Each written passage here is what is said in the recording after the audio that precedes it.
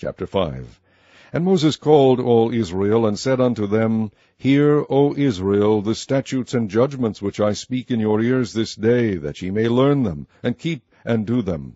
The Lord our God made a covenant with us in Horeb.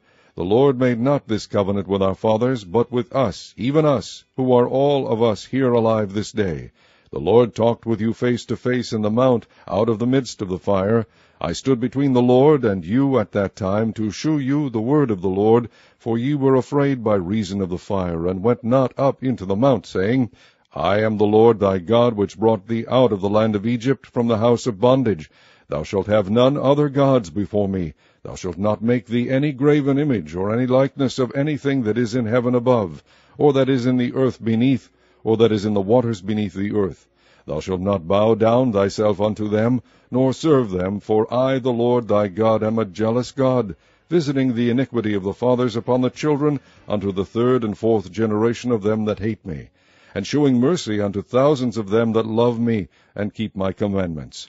Thou shalt not take the name of the Lord thy God in vain, for the Lord will not hold him guilty that taketh his name in vain. Keep the Sabbath day, to sanctify it, as the Lord thy God hath commanded thee. Six days thou shalt labor, and do all thy work, but the seventh day is the Sabbath of the Lord thy God. In it thou shalt not do any work, thou, nor thy son, nor thy daughter, nor thy manservant, nor thy maidservant, nor thine ox, nor thine ass, nor any of thy cattle, nor thy stranger that is within thy gates, that thy manservant and thy maidservant may rest as well as thou. And remember that thou wast a servant in the land of Egypt, and that the Lord thy God brought thee out thence through a mighty hand, and by a stretched out arm. Therefore the Lord thy God commanded thee to keep the Sabbath day. Honor thy father and thy mother, as the Lord thy God hath commanded thee, that thy days may be prolonged, and that it may go well with thee in the land which the Lord thy God giveth thee.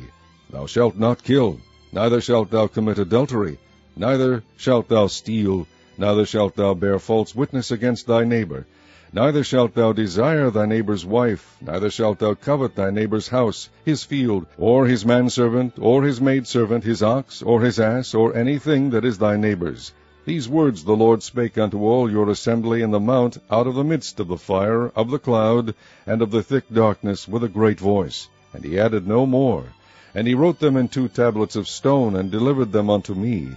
And it came to pass, when ye heard the voice out of the midst of the darkness, for the mountain did burn with fire, that ye came near unto me, even all the heads of your tribes and your elders, and ye said, Behold, the Lord our God hath shewed us his glory and his greatness, and we have heard his voice out of the midst of the fire. We have seen this day that God doth talk with man, and he liveth.